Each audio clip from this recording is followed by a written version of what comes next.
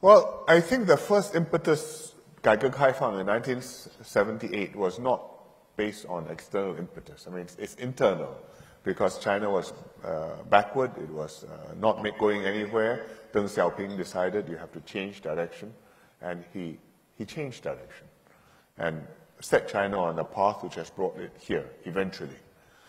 Um, along the way, there have been occasions when the external pressure, I think, has been helpful. For example, when China entered WTO in 2001, um, I think, uh, again, it was Premier Zhu Rongji, but he, uh, he calculated that this would generate pressure on China and would encourage China to um, make the changes which it needed to make in its own interest.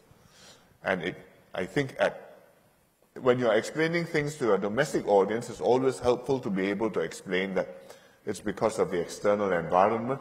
That's the way the world is. We have to adjust to it.